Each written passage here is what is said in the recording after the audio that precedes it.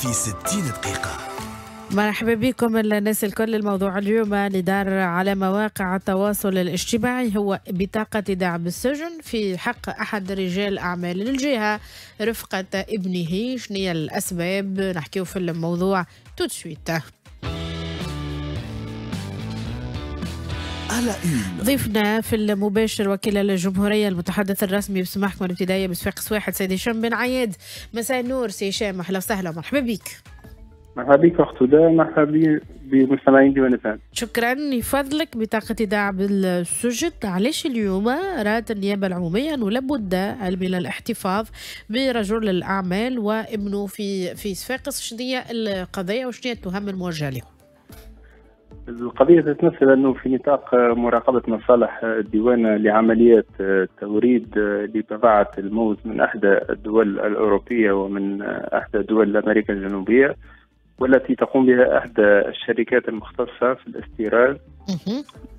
والمنتصرة بمدينة صفاقس تم اكتشاف عملية تلاعب في الأثمان المصرح بها للبضاعة المعنية عند إدخالها عبر مصالح الديوان التونسية وهذا التلاعب يتمثل في الترفيع في قيمة ثمن البضاعة الموردة مقارنة بثمن شرائها الحقيقي من بلد المنشأ.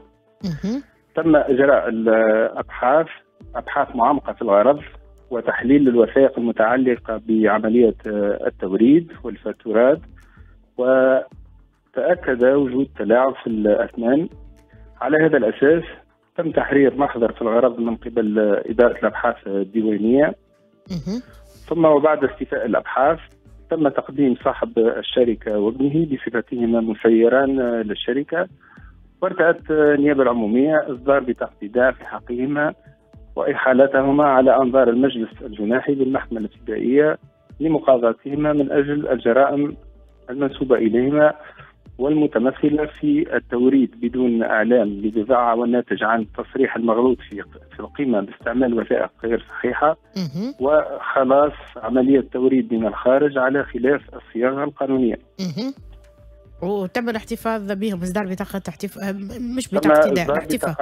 إيداع. لا، بطاقات إيداع. إيداع من النيابة العمومية والآن هم آه، محالين على أنظار المجلس الجناحي ل- للمحاكمة لمقاضاة من أجل التهم المنسوبة إليهم. زوز بطاقات إيداع بالسجن في آه، بطاقات. في في استيراد مادة الموز نذكروا هكا ولا؟